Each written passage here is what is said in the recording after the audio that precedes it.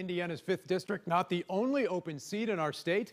There'll be a new congressman in the 1st District. Republican Mark Leyva taking on Democrat Frank Mrvan. The winner will take over for Democrat Pete Visclosky, who's retiring after serving since 1985. A lot of incumbents running for re-election elsewhere. In the 2nd District, Congresswoman Jackie Walorski facing off against Democrat Pat Hackett. Walorski's been the 2nd District rep since 2013 seeking her fifth term in office. In the third district, it's incumbent Republican Jim Banks and Democrat Chip Coldiron fighting for votes. Banks is running for his third term in Congress. Coldiron is a teacher, both men military veterans and native Hoosiers. Republican Congressman Jim Baird taking on Democrat Joe Mackey in the fourth district.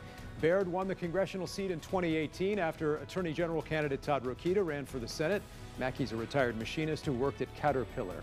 Sixth district now, Congressman Greg Pence running against Democrat Jeannine Lee Lake. District 7, Congressman Andre Carson running for re-election. The Democratic representative up against Republican Susan Smith. In the 8th district, covering southwestern Indiana, Republican Congressman Larry Bucshon is facing off against Democrat Thomasina Marsili. Bucshon running for his sixth term. And finally, the 9th district, Republican Congressman Trey Hollingsworth looking for his third term after taking office in 2017.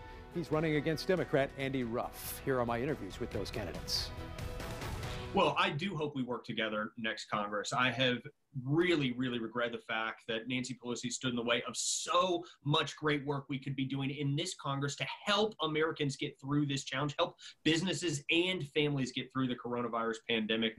I'm a much better candidate with a much better, uh, much higher uh, likelihood and ability to represent ordinary people in the ninth district of Indiana than Mr. Hollingsworth. Uh, you know, he's he's still not connected to Indiana in a in a, any subst- substantial way to the ninth district. I believe. Um, you know, he came in as an opportunist, purely came to the ninth district for the reason to get a congressional seat. There was no other reason.